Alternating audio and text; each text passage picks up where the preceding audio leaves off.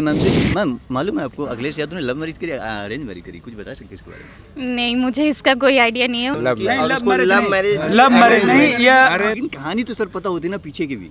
Sir पता तो मुझे ऐसा जितना ज़्यादा नहीं है लेकिन मुझे ये पता है कि हाँ शायद शादी तो की थी तभी लड़का है उनका। क्या वाइफ का नाम क्या है? मालूम है? डिम्पल यादव? डिम्पल यादव कहाँ से बिलोंग करती है मालूम है आपको कुछ? नहीं पता मेरा समय निकल गया नहीं तो मैं भी लव मैरिज करता हूँ सर। ठीक है? ये गोमती रिवर फ्रंट है। अच्छा सर इसको किसने बनवाया? मान्य श्री अखिलेश यादव जी ने बनवाया इसको। कि लव मैरिज ही है। मैम आप क्या कहती हैं? सुना हुआ है सर नहीं? कंफर्म नहीं है। तो सर की तरह हमने भी सुना हुआ है कि शायद उनकी लव मैरिज जिसने जो भी बनवाया अखिलेश यादव ने बनाया उन्हीं का देन है कि आज लखनऊ ऐसा है। जी जब से आए हैं सिर्फ़ बलात्कार उनके विधायक बलात्कार कर रहे हैं उनके चिन्मयानंद बलात्कार कर रहे हैं उनके कुलदीप सिंह सेंगर जेल में, हाँ, भी उनके मंत्री और विधायकों का बहुमत होने वाला।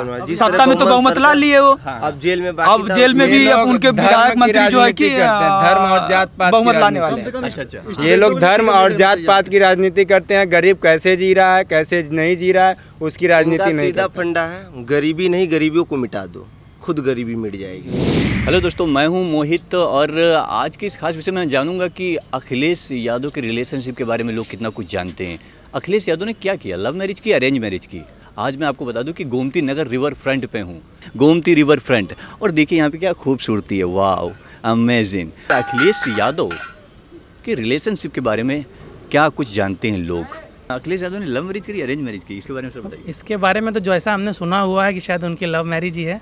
मैम आप क्या कहती हैं? सुना हुआ है सर नहीं? कंफर्म नहीं है। तो सर की तरह हमने भी सुना हुआ है कि शायद उनकी लव मैरिज थी। लव मैरिज सक्सेस होती है इसके कुछ बता सकते हैं? अब उनको देख के तो लगता ही है सक्सेस होती है। और डिपेंड करता है पर्सन टू पर्सन कपल अगर अंडरस्टैंडिंग है तो डेफिनेटली जो बॉन्डिंग है अखिलेश यादव जी और डिम्पल मैम के बीच में वो डेफिनेटली उन सब चीज़ों के लिए एक एसेट है आने वाले कपल्स के लिए। अगर हाँ लव मैरिज करते भी तो डेफिनेटली वो सक्सेसफुल रहती है। सर क्या मालूम है अखिलेश यादव जब आ, इनका ये रिलेशन शुरू हुआ लव मैरिज वाला इनकी एज क्या होगी बता सकते हैं सर ऐसा तो कुछ भी नहीं है बहुत ज़्यादा मैंने उनके ऊपर ज्ञान नहीं है मेरे को। जी जी मैम आपके बता सकती हैं? नहीं नहीं। चलिए ठीक है मैं मैं दर्शकों को बता दूँ कि अखिलेश यादव की एज थी सिर्फ़ 21 साल की और डिम्पल यादव की एज थी मात्र 17 साल की जब से इन दोनों का रिलेशनशिप चल रहा है बहुत तगड़ा वाला। शादी कब हुई?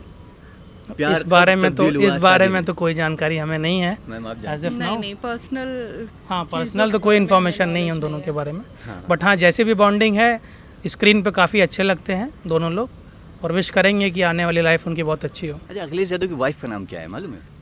डिम्पल यादव? डिम्पल यादव कहाँ से बिलोंग करती है मालूम है आपको कुछ? नहीं पता कैसा लग रहा है यहाँ पे आके आपको?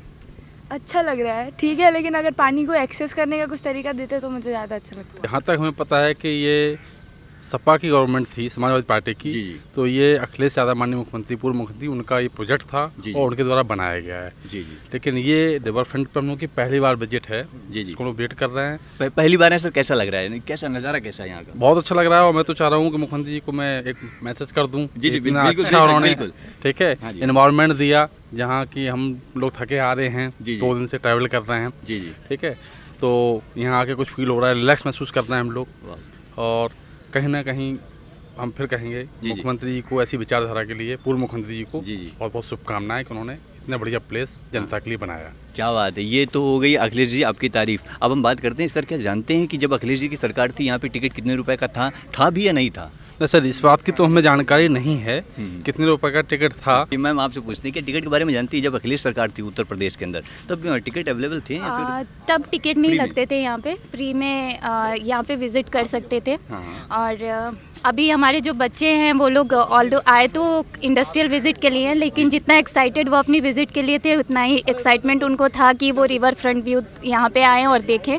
तो इतना थके होने के बाद भी वो फुल एक्साइटमेंट में यहाँ आए हुए हैं और यहाँ का नज़ारा देख रहे हैं and they are so happy ये सब देख के वो बहुत खुश भी है। तो हमें भी अच्छा लग रहा है कि हमने अपने बच्चों को इतनी अच्छी जगह दिखाई और पर्सनली भी मुझे बहुत अच्छा लग रहा है यहाँ पे आके बहुत अच्छा फील हो रहा अखिलेश यादव ने लव मैरिज करी अरेंज मैरिज करी कुछ बता सकते इसके बारे में? नहीं मुझे इसका कोई आइडिया नहीं है उनके किस लिए बनाया? पर्पस क्या था उनका? बेस क्या था? इसके ये आ, बेस ये था कि आ, एक तो टूरिस्ट स्पॉट बनाने से यहाँ पे जो ब्यूटी है यहाँ की वो थोड़ी अच्छी डेवलप हो सकती है। जैसे इग्नोर्ड जो एरिया है हम ऐसे तो गोमती रिवर के आ, जो डेवलपमेंट के लिए एक तरीके से कह सकते हैं कि यहाँ टूरिस्ट स्पॉट होगा लोग आएँगे बैठेंगे तो लोगों को भी अच्छा लगेगा और वो एंजॉय भी करेंगे। साथ साथ जो ये एरिया है इसका यूटिलाइजेशन अगर कह लें अच्छे तरीके से यूटिलाइजेशन उन्होंने किया है। खैर हम सर की तरफ़ रुक करते हैं सर से जानते हैं। मालूम है सर लव मैरिज करिए अरेंज मैरिज सर अब इस जगह को देखने को तो मुझे लगता है कि लव मैरिज की होगी सर। हैं? क्योंकि और उन्होंने चांस दिया लोगों को कि यहाँ आएँ और लव मैरिज करें। और सर हम तो चाहेंगे मुख्यमंत्री अगर ऐसा डेवलपमेंट होता है तो ज़रूर लव मैरिज करना चाहिए। मेरा समय निकल गया नहीं तो मैं भी लव मैरिज करता सर। ठीक है? और मुख्यमंत्री जी से सर मैं व्यक्तिगत तौर पे। पूर्व मुख्यमंत्री जी। पूर्व मुख्यमंत्री सॉरी हाँ मैं कहना चाहूँगा पूर्व मंत्री मुख्यमंत्री। सीएम माननीय अखिलेश यादव जी से मैं प्रभावित भी हूँ। प्रभावित इन द सेंस मैं भक्त नहीं हूँ। जी जी जी जी। ना ही मैं बीजेपी का भक्त हूँ ना ही मैं सपा का भक्त हूँ। लेकिन मैं एनालिसिस करता हूँ मैं प्रोफेसर हूँ। चीज़ों को एनालिसिस करता हूँ देखता हूँ कि हाँ कौन सही कर रहा है कौन गलत कर रहा है। उस बिहार पर मैं कह सकता हूँ कि हाँ बहुत ही अच्छा काम किया गया है सपा सरकार के द्वारा। जी जी। और जी जी। अखिलेश यादव के पिताजी का नाम जानते हैं सर? बिल्कुल। माननीय मुलायम सिंह यादव जी। मुलायम सिंह यादव ने उन्होंने क्या किया था? लव मैरिज करी थी अरेंज मैरिज? सर उस टाइम पे शायद मेरा जन्म भी नहीं हुआ था लेकिन उस टाइम पे ट्रेडिशन जो था वो लव मैरिज का नहीं था। लेकिन कहानी तो सर पता होती ना पीछे की भी। सर पता तो मुझे ऐसा जितना ज़्यादा नहीं है लेकिन मुझे ये पता है कि हाँ शायद शादी तो की थी तभी लड़का है उनका। क्या बात जिस जगह पे खड़े हैं इसका नाम क्या है सर? हाँ जनेश्वर पार्क है जो कि एक गोमती नदी है फ़ोटो मारो हाँ। पहले। वैसे तो ये प्लेस लखनऊ में है जी। और ये जो हम पार्टिकुलर जिस लखनऊ के अंदर जो प्लेस पे खड़े हुए हैं इसका नाम है जानेश्वर मिश्र पार्क बेसिकली कोई नहीं मैं सर के पूछता हूँ। सर जानते हैं ये जगह का नाम क्या है? गोमती रिवर फ्रंट क्यों बनाया गया सर इसे? सर यह है अखिलेश यादव का सर हमेशा जगह नई जनरेशन के ऊपर उनका ध्यान रहा है। हमेशा तो उन्होंने कान्हा स्टेडियम भी बनवाया। हाँ, राजधानी लखनऊ में खड़े हैं। हम यहाँ की बात करेंगे सर। यूपी सरकार ने क्या किया? यू, यूपी सरकार में अभी तो यानी गौ रक्षा के गौ इसी पे ज़्यादा ध्यान दिया सारा प्रोजेक्ट जितना पैसा है गौ रक्षा गौशाला इसी पे ज़्यादातर ध्यान है लेकिन फ़िलहाल कोई भी अभी ऐसा कोई उन्होंने काम नहीं दिया।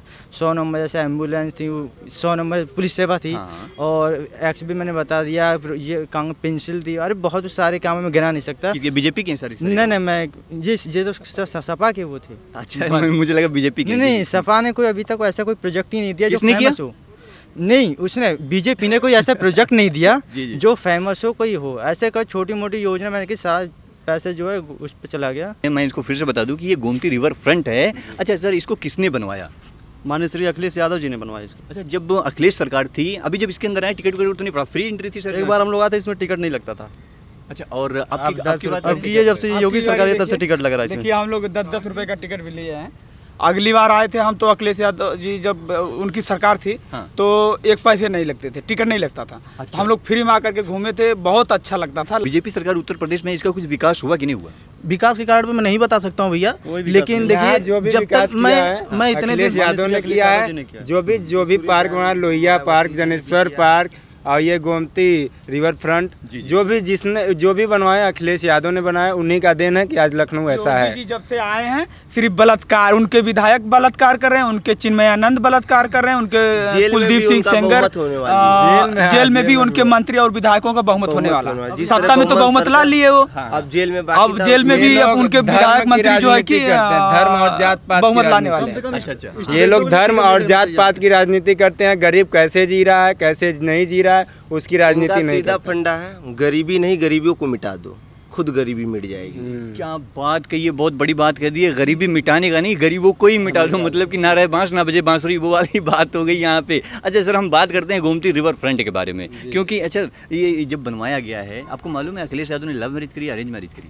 अखिलेश यादव ने हमको शायद arrange marriage love love marriage love love marriage नहीं। marriage- लव मैरिज नहीं ये अरेंज मैरिज अरेंज मैरिज के लिए मतलब यह इसलिए बनाया गया कि आदमी आएगा टहलेगा उसका स्वास्थ्य अच्छा रहेगा और यहाँ पे जो हवाएँ शुद्ध वातावरण पेड़ पौधे लगे हैं फूल लगे हैं इसकी सुगंध मिलेगी। इससे नदी का किनारा है इसका पर्यावरण जो कि अच्छा रहेगा। इस स्वच्छ और सुंदर की वजह से बनाए थे कि यहाँ पे लोग आकर के सुबह शाम टहलेंगे उनका स्वास्थ्य अच्छा रहेगा और मेहनत करेंगे थोड़ा से आप भाई उसमें तो टहलने के नाम पर भी टिकट अवेलेबल कर दिया हाँ देखिए दो साल पहले ये देख लीजिए दो साल रुपए पहले का हम लोग यहाँ पे आए ये देख लीजिए।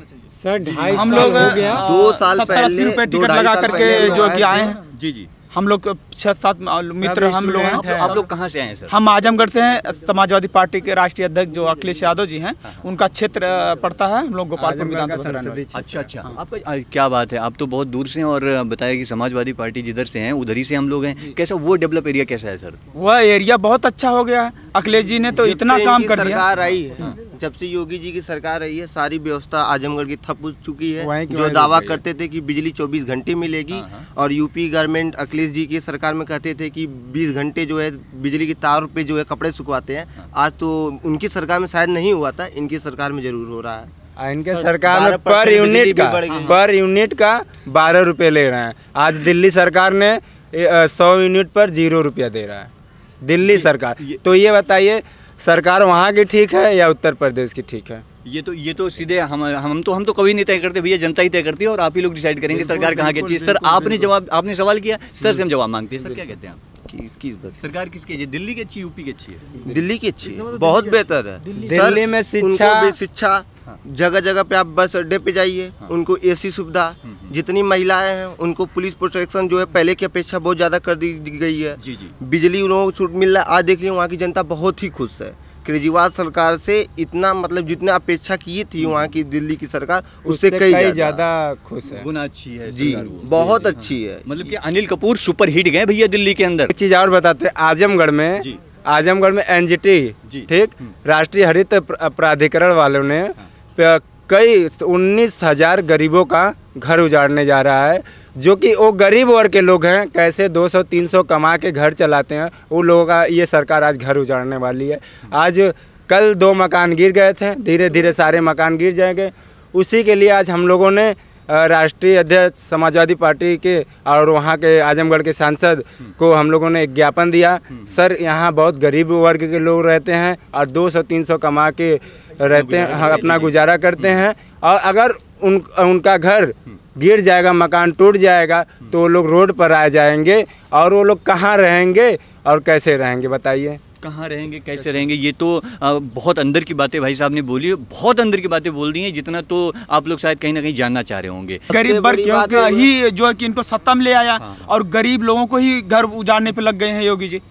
आप सोच लीजिए कि ग- जो गरीब व्यक्ति सोचा कि योगी जी आ रहे हैं ये सन्यासी हैं या गरीब वर्ग के लिए काम करेंगे हाँ। लेकिन यह तो गरीब वर्ग के लिए काम नहीं किए यह गरीब का घर ही उजाड़ने के लिए। बस हिंदू मुस्लिम लड़ाएगी बस हिंदू मुस्लिम और राम मंदिर मस्जिद के लिए लड़ाएगी हाँ। और गरीबों का ऐसा ही शोषण करते रहेगी गरीबों को उसी में उलझाए रहेगी चुनाव से ये पहले हमारे जो है ज़िले में इन लोगों ने विश्वविद्यालय का देने का वादा किया था अच्छा चुनाव खत्म वादा खत्म। वादा खत्म। सर 2022 के बारे में बात कर लेते हैं। हम- 2022 में आज कौन हम बता रहे हैं में जो अखिलेश यादव जी बम्फर रोड से बम्फर सीट से आगे आ रहे हैं एक हैं। तरफ़ एक तरफ़ ये बात करते हैं। कुछ लोग मुझे ये भी बता रहे हैं कि ईवीएम रही तो बीजेपी को कोई हटा नहीं सकता। सर इसके बारे में कुछ बता सही है दीजिए। एकदम सही है। है। ईवीएम बैलेट पेपर से चुनाव कराइए आप ईमानदारी पूर्ण सभी लोग अपना वोट डालेंगे और सबको विश्वास पड़ेगा कि मेरा वोट मैं जहाँ पे डाला हूँ चाहे साइकिल हो चाहे हाथी हो चाहे कमल का फूल कमल का फूल हो या कांग्रेस का पंज, हाथ का पंजा हो।